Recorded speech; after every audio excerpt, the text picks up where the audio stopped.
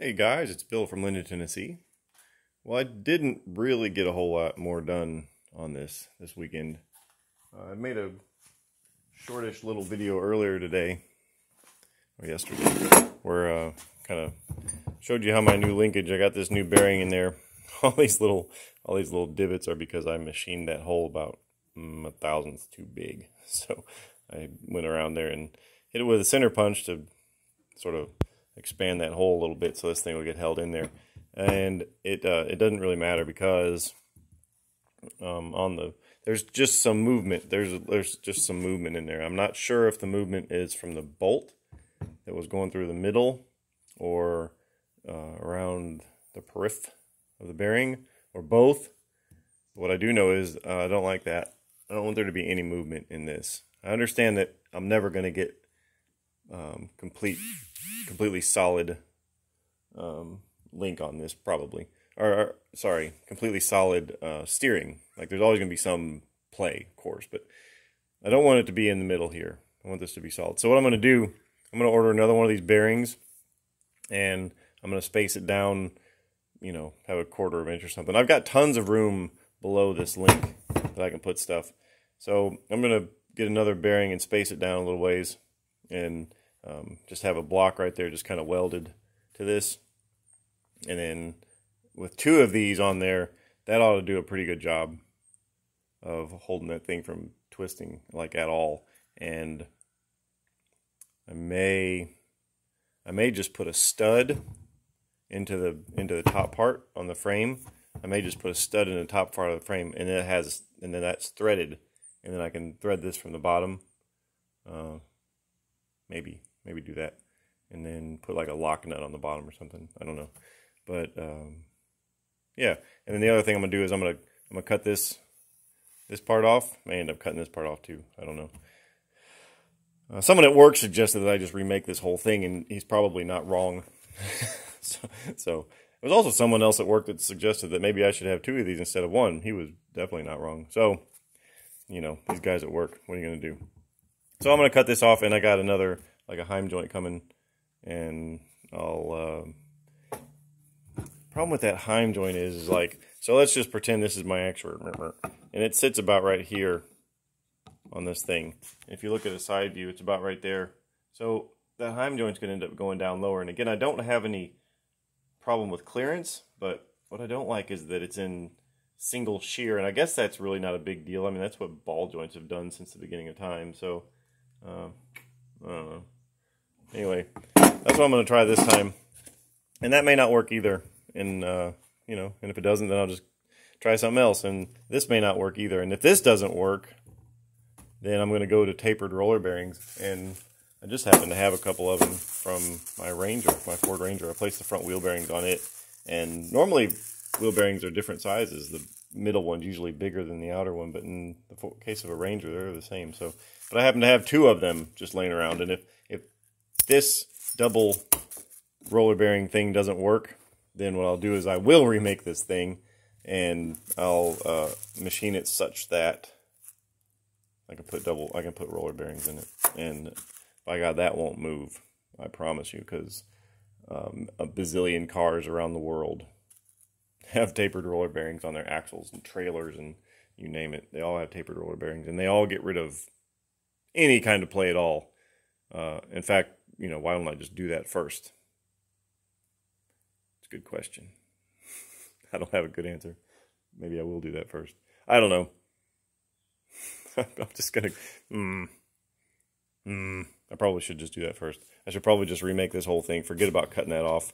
Remake this whole thing, and then stop it here, and then maybe I can come up with some sort of double shear connector connection on there. Um, the deal is, is that the double shear, if you imagine this being my my double shear here, and my um, actuator would go sort of between my fingers there. This needs to be able to twist like this a little bit. Now I have in the past um, on a trailer linkage that I did on a little motorcycle. I had one of my first EV conversions. I had a just a uh, I used threaded the threaded part of a bolt that was right here, and then you know that turns like the bolt threads turn or you could do Uh, just have a block with a hole through it and have two thrust washers and then a nut on the back here and then those two thrust washers or thrust washers in the middle or bearings in the middle or I don't know. But anyway, a shaft going through a block and then that at the end of that shaft would have a, a double shear. So basically another another one sticking out this way. I think you get the idea, but I'm going to overemphasize this just because like that. That may be what I do. Or it may not be what I do. I don't know what I'm going to do. Hmm. Well, the new bearing is only like 12 bucks. So I think I'm just going to go with that. I'm just going to get another bearing, make a block, put that bearing in the block, weld it to that, and then we'll see what happens. Other thing I've been doing today is just kind of laying out parts where they might go. Um, I've done this done this before, and i am doing it again. I didn't put the controller on there. I've kind of changed my mind where the controller is going to go, and I'll probably do it again. But uh, now I'm thinking maybe it'd be cool to have the controller mounted up there and have the 12 volt battery mounted right there because it's just sort of a nice fit. Uh, yeah. And then that the controller would be sort of elevated a little bit. I could even have a plate over the top of this and then have the controller mount up here like such. Uh, I don't know. We'll see. But that I don't. Maybe I don't want to do that because if I ever did have to remove that battery, then I'd have to remove all that stuff. Whereas the way it is, if I had to remove the battery, all I'd have to do is probably just remove the 12 volt battery. I don't know. But that's that. Uh, DC DC converter. I was thinking that might go right there. It could also go back here under the seat. It could also go right here because there's going to be like a, um, a tunnel. A tunnel that kind of comes up and goes over and comes down. It's going to be a tunnel that goes over there.